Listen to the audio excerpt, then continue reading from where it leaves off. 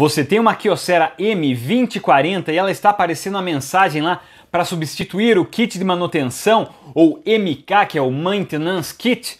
Assista esse vídeo e aprenda como fazer um reset.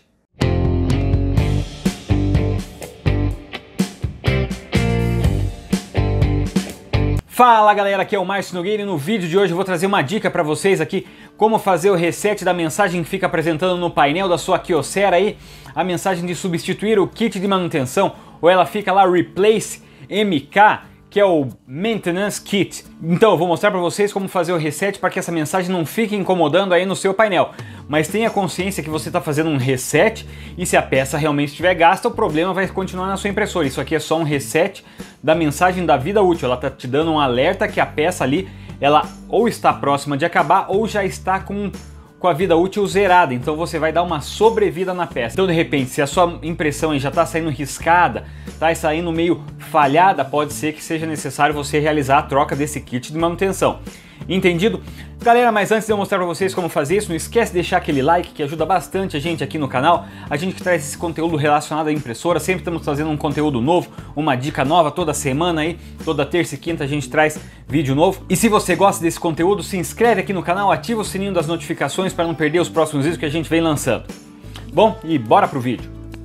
Então, se a sua impressora estiver como essa minha aqui, ó, mostrando ali, ó, substituir MK o modelo que eu tenho aqui é uma M2040. A gente vai ter que entrar no modo de serviço. Para isso a gente vai digitar em sequência 1087 1087.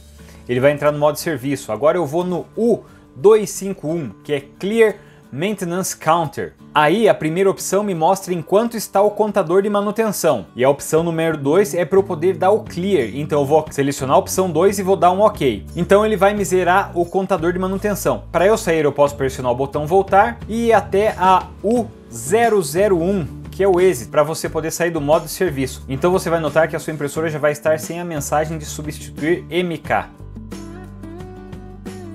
Bom, galera, vocês viram a dica aqui de como fazer o reset da mensagem do kit de manutenção na sua impressora, mas tenha atenção na seguinte situação: de repente, se a qualidade da impressão da cópia não estiver muito boa, pode ser que seja necessário você realizar a substituição desse kit e não só apenas fazer um reset da mensagem ali. Galera, se esse vídeo ajudou você, não esquece de deixar aquele like, que ajuda bastante a gente aqui também.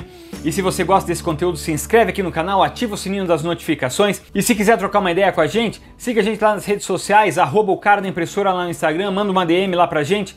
Ou se quiser conversar com a gente também através do site, tem o um site que tá passando aqui embaixo também. Galera, muito obrigado por assistir o vídeo até aqui. É isso daí, um abraço para vocês e te vejo no próximo vídeo.